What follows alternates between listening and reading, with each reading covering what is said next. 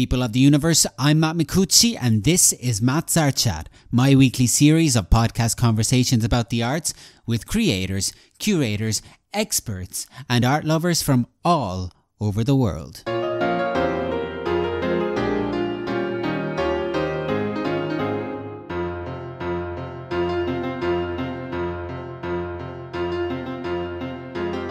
People of the universe, I'm Matt Micucci. Welcome to Matt's Art Chat. My guest today is Frank O'Dea, who, in addition to being an artist, is the owner of Balla Bán Art Gallery, Ireland's smallest art gallery, located in the heart of Dublin just off Grafton Street.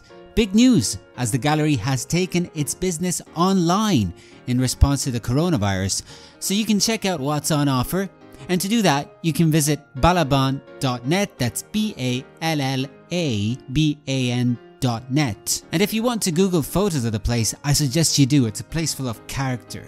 If you ever find yourself in Dublin, check it out. Have a look for yourself. But of course, Frank being an artist himself, we also talk about his own work, influences, about his background in music, and a lot of other things. It was absolutely great chatting with him, and I hope you will enjoy listening to the chat wherever in the world you may be. So, my friends, in the words of the great Tom Snyder, adapted for oral purposes, fire up an Audio Teeny, sit back, relax, and listen to the audio waves as they fly through the air. Hey Frank, how are things in Dublin? Well, we're kind of all in expectation of um, opening up the country next week. Um, We've been given government uh, uh, restrictions for the last five weeks. Uh, we're in a kind of a, a, type of a lockdown now. There's different definitions of the of the word lockdown, but um, it means basically that uh, all non-essential businesses are closed and um, restrictions of travel within five kilometers and a few other things like that. So we're there's still uh, we we had a lockdown last April, which was a lot more stricter. But this is, seems to be a bit less with, with regard to restrictions. But we're all kind of in expectation of next week when the country reopens up again or goes back down to uh, level three, which would be less restrictions. Have you found that uh, the current situation has impacted your creativity? In a way, it has uh, impacted, but in a positive way. Um, I know a lot of people might think it can work negatively, but with creativity, I think a lot of my inspiration comes in the current environment, in what's happening in the world. And uh, I get some inspiration from what's happening, and particularly with this global pandemic, it has uh, reached out and affected everyone in the world. And uh, sometimes it can be an inspiration for for coming up with uh, creative pieces that you might not normally have thought about working on. When did you discover that you had a passion for the arts and that you'd like to pursue uh, your ambition to becoming an artist? Well, my, my passion for art didn't really uh, kind of uh, start until I was in my late 20s, uh, early 30s. Um, I did always love art and um, I was more into the, the music, um, particularly in my teenage years. Um, I, I, played the piano and uh, guitar and a few other instruments, but my my passion was always for music and um, songwriting and all of that sort of world. Um, but with the the art and in the painting and all of that, it was kind of with the leaving cert, uh, which would be the uh, the old final years in secondary school. Uh, I used to love the art classes. It was my favorite subject in, in the school, and I think partly due to the the teacher we had who was very encouraging and about expressing ourselves through the art and it wasn't a strict kind of um, subject you know that you could let loose a bit more. And I, I just loved art from from school. And uh, I think after the leaving certificate then I, I kind of forgot about it for a while. And then I always loved and I still do love um, the whole thing of caricatures and cartoons. And uh, we used to get the newspapers and I used to cut out the little cartoons in the newspapers and then I'd be at home and I'd be copying them. And uh, just particularly some of the caricatures and I'd just get a pen or uh, a marker or whatever. And I just start copying them. I used to love doing all that. And it, from there, I just kept on drawings and little cartoons and all those little cartoon strips. I used to love them all. Why do you reckon that uh, you kind of stopped thinking about art uh, in that space between secondary school and, uh, as you said, your late 20s? This is also because a career in the arts is just a difficult one to even imagine to some extent. It is, Matt. Yeah, I, I mean, even using the term career, my my parents or, other people would have laughed at the idea of having a career in uh, in the arts or as an artist. I was very much um, geared towards um, I leave school, I'm going to end, going to work in the bank. And uh, I remember, gosh, must have been about ten or nine or ten years of age at the time, and uh, I was asked by my parents or teachers, what would I like to be when I grow up? And I used to say, I want to be a bank manager. Not only work in a bank, but to be a bank manager. And I think it would have been obviously my, my father worked in a bank, and I suppose I looked to him and I said, I wanted to do what he's doing. I hadn't a clue what banking was about or anything like that, but I just wanted to be a bank manager because my daddy seemed to like that job. so I, I, I, kind of geared towards um, in secondary school, I, I you know was doing uh, uh, economics and accountancy and um, kind of those subjects that would be beneficial to me. Uh, and it was always a case of yeah, no, I always want to work in a bank. And then of course in the Ireland of those days, like the bank was a permanent pensionable job, just like the civil service, you know, and it's a job you, you enter into and you, you're there until you're you're retired. So it was a lot of practical, and I suppose you'd be influenced by your parents as well. They would be looking for a career in in something a bit more stable rather than the arts. And even at the time, I didn't really have any uh, leanings towards uh, being in the art. You know, uh, if if anything, I'd love to have been more involved in the music. Um, and I, I, used to love. I had a very big passion for. I still do for for the music and the whole creative process songwriting and uh, and all of that. Yeah. Oh, you still play? You still play music? I, I yes, I still play. In fact, when I was in my twenties, when I was working in the bank full time, I continued on playing music. But what I would do is I would play in restaurants and piano bars around Dublin on a, maybe on a Friday or Saturday evening. And I used to love that. Um, it was very much background music. I, I wasn't singing at all, just you know, you're playing Beatles, Elton John, whatever, all that kind of um, background music. And yeah, so it kept me um, uh, in the music side of things. Um, and then I, I, used to used to do a lot of songwriting, and I used to buy. Uh, well, I had an old four-track recorder. I used to record at home, and then I had a, a great keyboard, and uh, it was a Roland keyboard, and then a kind of a what do you call it thing to to a 16 track kind of recording. So you had full backing tracks. And myself and a friend of mine did a lot of uh, songwriting. And um, it, it kind of, for me, uh, you know, it could be up till three or four o'clock in the morning. One of those things that you forget what time it is, and writing and, and recording, that whole creative process. So I think to, to answer that kind of question, Matt, how the, the, the painting and the art side didn't really. Uh, I, I was putting my creativity more into the music side, and I got a lot of satisfaction out of that. So the art, I didn't miss the art. I didn't really have that big thing there in the first place, but um, just the creativity of you creating something out of nothing. You know, like a, a song, uh, and lyrics and music, and putting it together music and painting and uh, all of the other art forms they also uh, are somewhat generally influenced by a desire to for one to express uh, oneself. Do you feel that you are also driven by that desire to express yourself through the arts? Absolutely, yeah. It, it, it is something that most people who get into the arts they're doing it out of a, very strong desire to express themselves, to a, a, cre- a creativity that is inbuilt. You know, whether whether a person gets paid for it or not, or or whatever, it, it, it's you, you keep doing it. You know, I mean, if you talk to any artist today, um, particularly during the pandemic when the whole country, the whole world went into lockdown, people didn't just say, "Ah, that's it. I'm not going to do any art now. I'm do any painting or any music or whatever," uh, because you know I'm not going to get paid for it or whatever.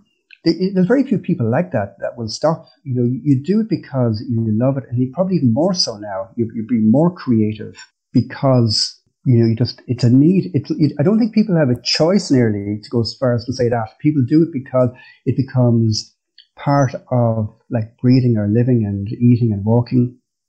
You know, it, it has to be done. So when you started painting again, uh, as you said, in your late twenties and so so on, in those early years of just uh, you know really getting into it again, uh, what do you? What were the themes that interested you and that influenced you?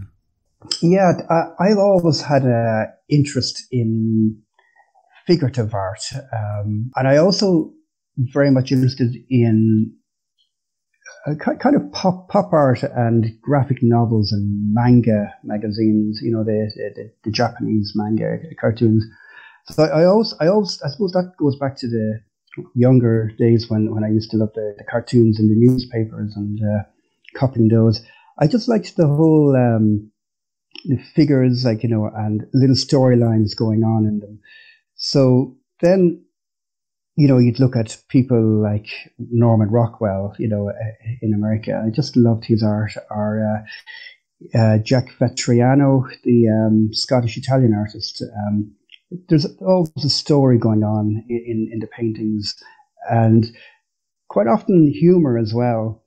And then uh, when you look at somebody like Beryl Cook, she was a, a, wonderful British artist. She only took up painting in her fifties, I think, you know, and she had she used to paint these voluptuous fat women, you know, and they'd be out partying or you know having great fun. And there's a kind of co- comedy, but observations of life. And I, I always liked that type of storyline. So for me, um, I, I, I wasn't interested in painting a landscape or, you know, the sea or, or a beautiful sunset or it wasn't really for me. I, I kind of felt there's a lot of, you know, I see that all the outside and I can see it in lots of people's art. I wanted to kind of create my own little stories going on, and um, yeah, it, it it kind of um, that was my my uh, inspiration just looking at, at everyday life. So a lot of my art would feature storylines like cafe and bar scenes and musicians and um, yeah, just people out and about and people observing people, you know, uh, um, that that sort of thing. So so that was my my my themes I love to work on, and I also loved the bright colors, the um, vibrant colors, and that to me, I said, you know, to use the colors with those themes just kind of gives gives us uh, even more uh, the, the storyline, even more vibrancy. Uh, you mentioned uh, observation of life in uh, among some of the things that you sort of admired in other artists, and uh, I wondered how important is observation in the process of your art making. It's important to the extent that you you need to know what you want to uh, convey in a painting. Um, so ob- observing live, I, I, I would love people watching, you know, sitting outside in a coffee shop or whatever, looking at people going by, um, looking at the interactions. So for me, it's important. It probably, I think, for every artist or every photographer, or you know, or sculptor, it's important because you get your inspiration, you get your ideas from initially from what you see and then through those, then your imagination then can can take over. Uh, you know, like you can then create your own little world from. So I think the spark has to come from observing life and other people, and I know a lot of artists would carry around uh, a notepad and pencil and do little sketches, whatever, as they go about. I was never into doing that. I just I would write down maybe little notes now also taking photographs as well is a great thing, you know. And then, uh, you, but you might have that notebook or photograph, you know, for six months or a year or two years, and then then you might use it. But for me, uh, and ob- observations of magazines, uh, you know, reading magazines and newspapers, and I would look at a photograph in a magazine, an advertisement or whatever, and I'd cut it out and say, that would be great now if I had that now. And then, I'll, you know, make kind of a, a jigsaw nearly of different um, images that I would cut out from, you know, uh, mag- old magazines. And then I would then start creating my story using those uh, images uh, as a kind of um, as a reference point. What materials do you like to paint with? Uh, oils. I love oils. Uh, I, I, just love the whole process. The fact that it takes so long to dry. Uh, I love the fact that you can mix the oils on the canvas as well. You know, uh, you, you, don't have to. Uh, in fact, to be honest with you, I'm, I'm not big into the acrylics. I find it too because of it, it dries too fast. I like to change things around. I like the slow process. Um, so oils would be my my medium to use here. Is there like a meditative uh, side to this slow process as well? There is, yeah. Um, I always think, you know, every artist is partaking in art therapy at the same time. You're, you're, you go into a world of your own um, very often, and you know, it could be two o'clock in the morning, and you realize, my goodness, I didn't expect it to be so late. Uh, you know, but you get caught up in this kind of world of your own, uh, you know, and then of course you'd have some maybe background music on, some you know maybe jazz or whatever, some some music on the background, and it is therapeutic. Art is therapeutic, and I think um, even for people who are not um, say skilled in the arts, it, you know it's for everyone. And quite often we we we're we're told that gosh, you know, you know, you can't paint, you can't draw. Um, in fact, a lot of people I meet, they say to me, "Oh gosh, I couldn't, I can't even draw a straight line." And I say to them, "Well, join the club. I can't draw a straight line either. You know, it's not it's not very easy. But you know, it's creating yourself. You're creating your own imagination on.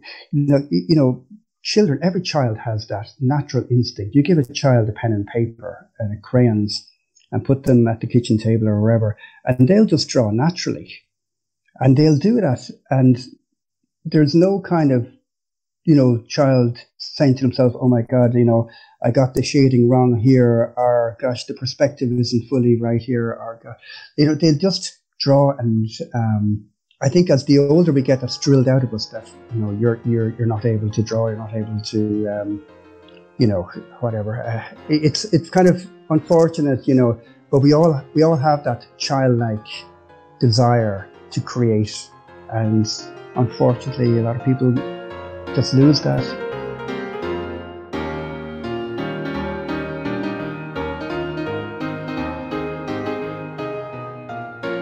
We'll have more of my chat with Frank O'Dea, and I take this opportunity to tell you to check out his Dublin Art Gallery's website, ballaban.net. That's B A L L A B A N.net. And also to remind you that there are plenty more conversations about the arts currently available FOC free of charge via several media streaming platforms, now also on Apple Podcasts aka iTunes. I still haven't figured out what the difference between the two is. I probably should.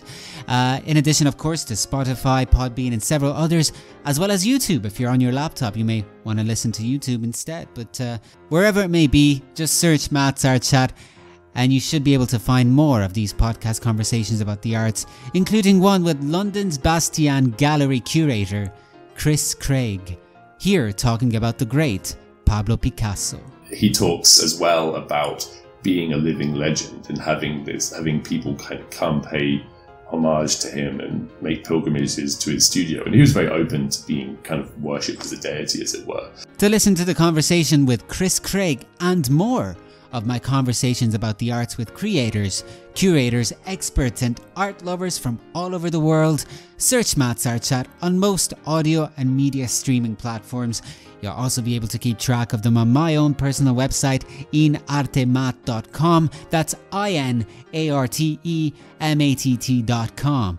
And now, back to my chat with artist and Balla Bán Art Gallery owner, Frank O'Dea.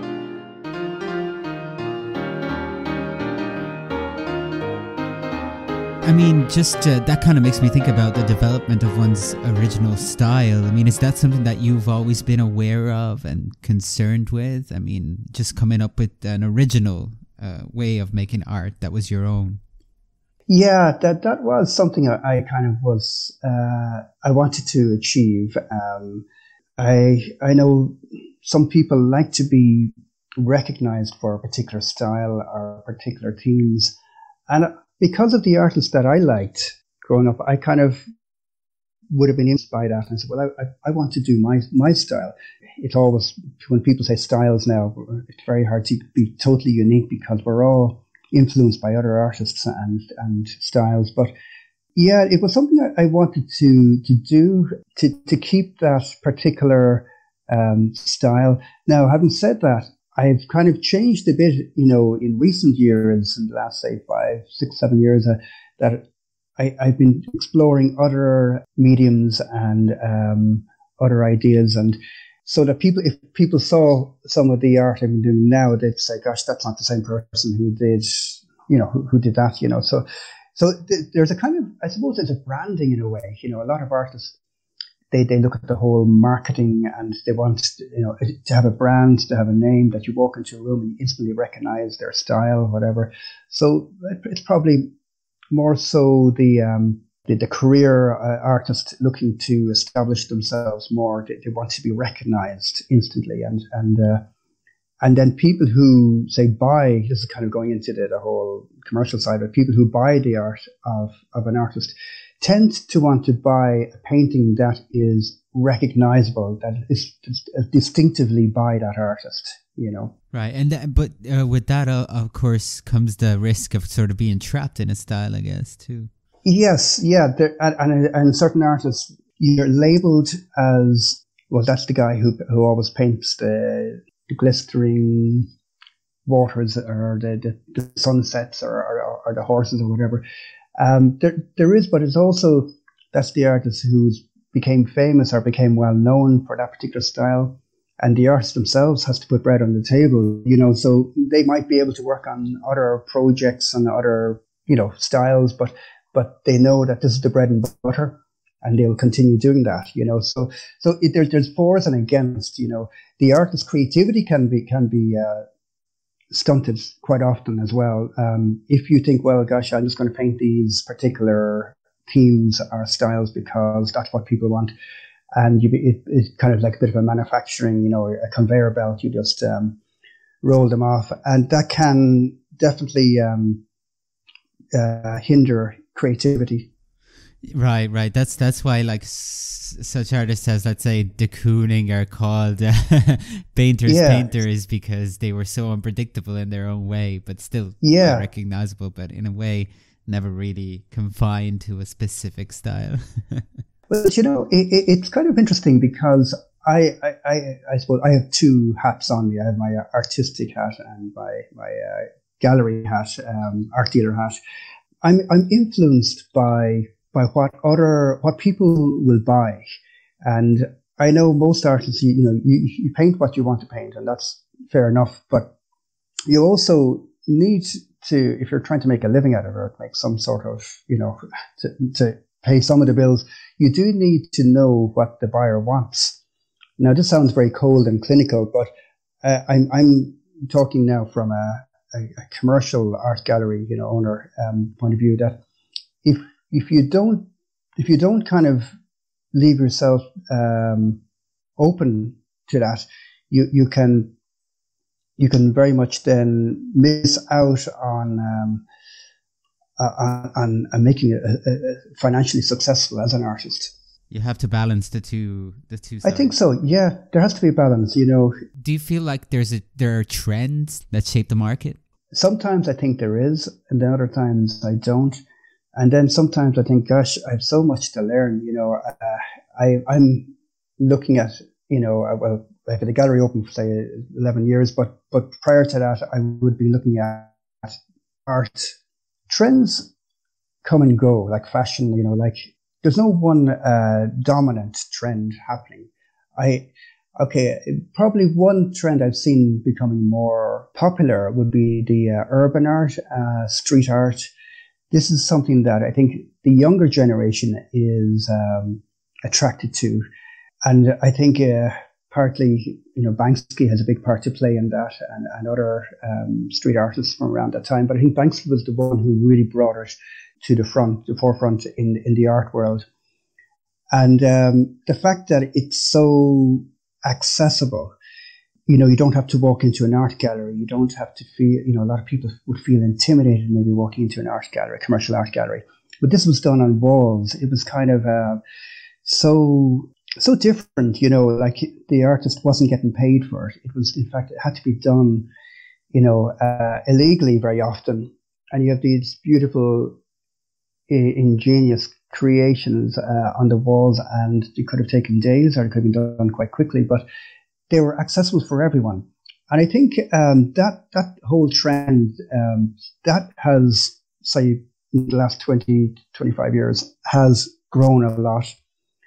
Um, so yeah, you know, urban art, um, uh, graffiti, graffiti, and street art. You know, uh, I, I, tend not to use the word graffiti because it tends to give up a, a bad name. You know, like uh, you're vandalizing a wall. But um, I, street art, where you have you have artists who actually are pretty good and they're doing these wonderful creations. It, it, it is a trend. Has certainly taken off seeing as we started talking about the gallery, uh, I'd love to know more about it. Uh, you, uh, we're talking about the Balla Bán Art Gallery just off Grafton Street in Dublin. Uh, can you tell me what prompted you to actually uh, to open the gallery? Okay, well, um, I, suppose I have to bring you back to um, when I was working in the bank. Uh, at this stage, I was working full time, expecting, you know, a permanent pensionable job in the wonderful world of banking.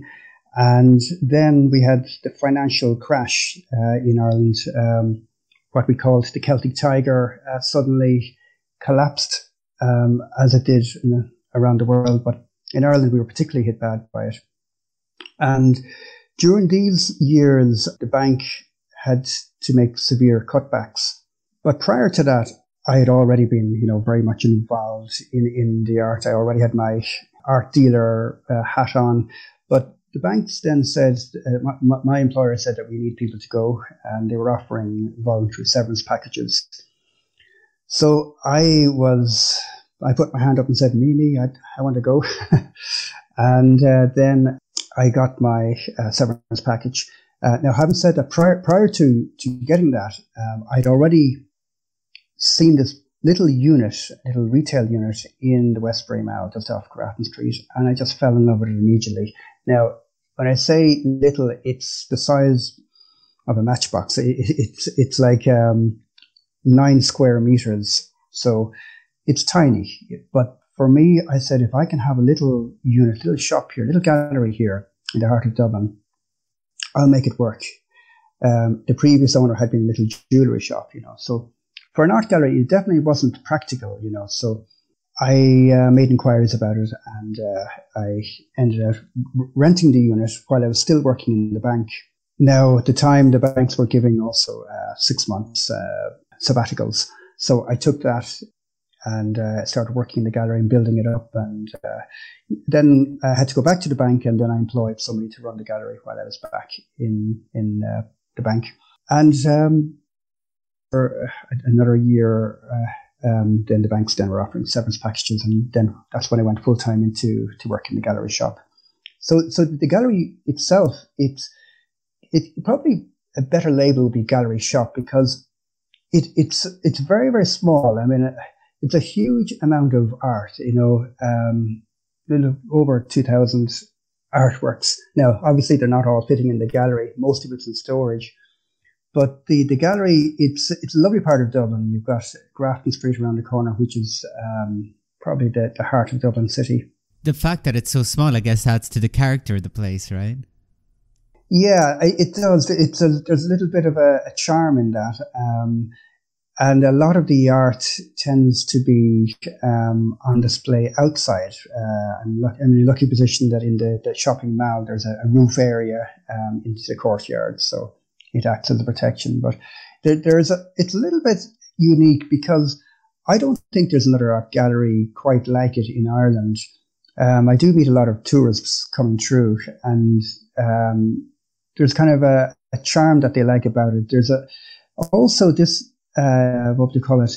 Um, there's no there's no kind of um, fear. A lot of people had this fear of walking into art galleries, and it's kind of amazing, you know. Even in, maybe more so in Ireland than other countries, to have a gallery in Ireland, you nearly need to you need to be in people's faces nearly, like um, that they don't have to walk in the door, that you don't have to walk up a flight of stairs, and you know a lot of the people that say to me, "I know nothing about art," but you know, there's nearly like apologizing when they come in the door, you know, or they're sticking their head in the door.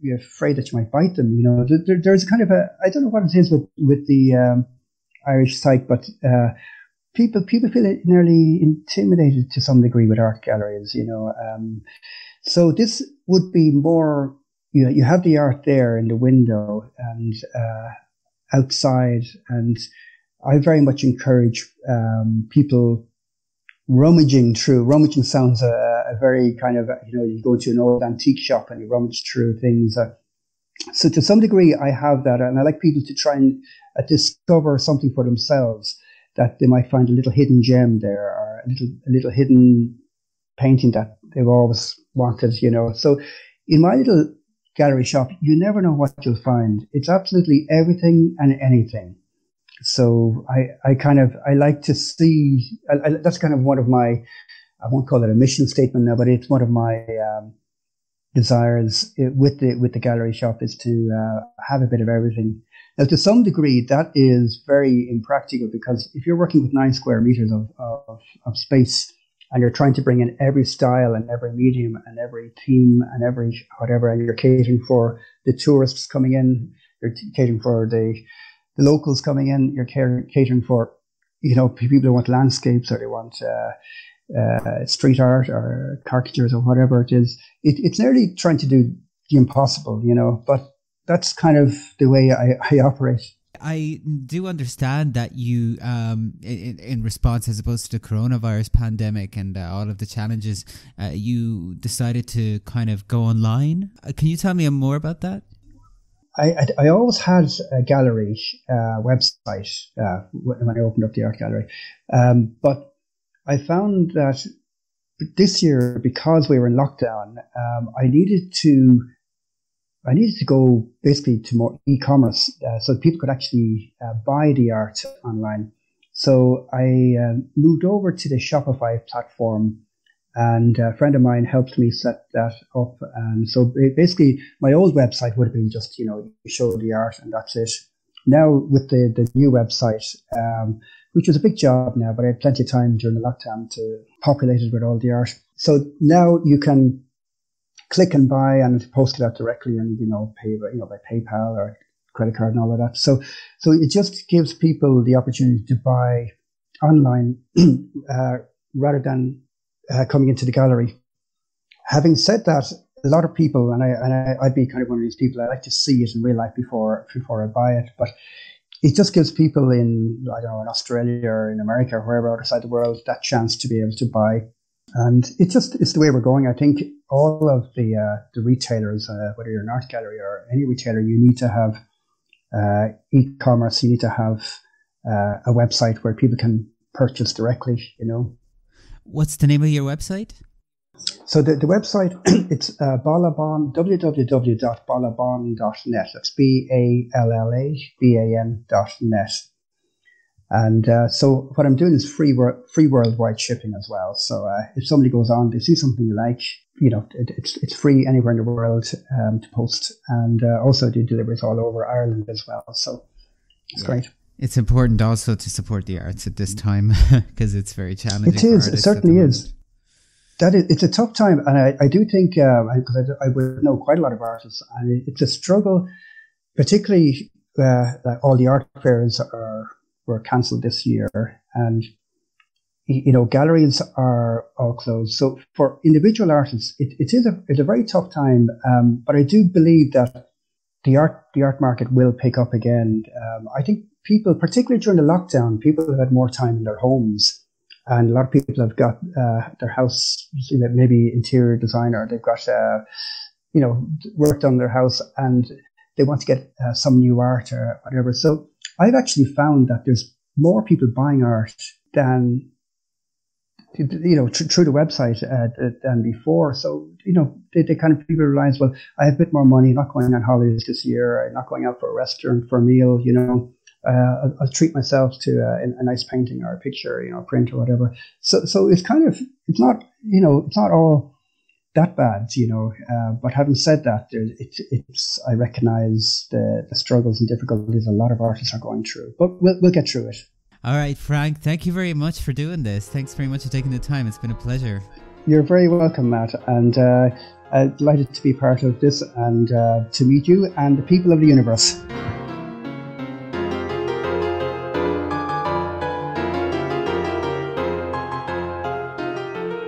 People of the universe, I hope you liked that one, folks. I certainly did. And again, I remind you to check out Frank's Art Gallery's website, ballaban.net. That's B A L L A B A N.net.